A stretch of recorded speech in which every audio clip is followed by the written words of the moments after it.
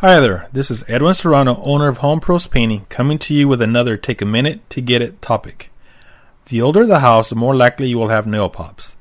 The most important aspect in dealing with them is knowing the root cause. If you don't address the root cause, then they will just keep coming back.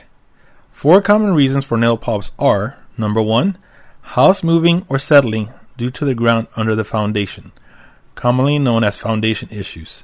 Number two, the studs behind the walls shrink or warp over time.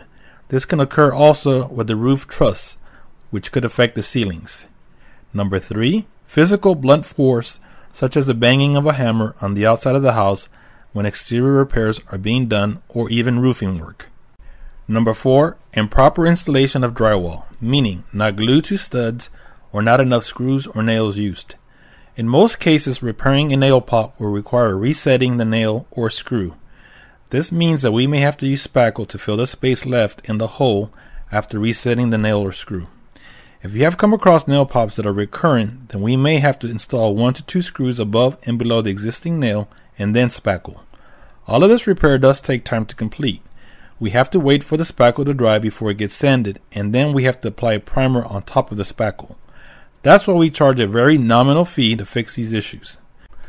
One important thing is that we cannot warranty nail pop repairs because they can come back due to the previous reasons and not because of our workmanship. Once again, thanks for taking the time to watch this video and look forward to working with you on your next project.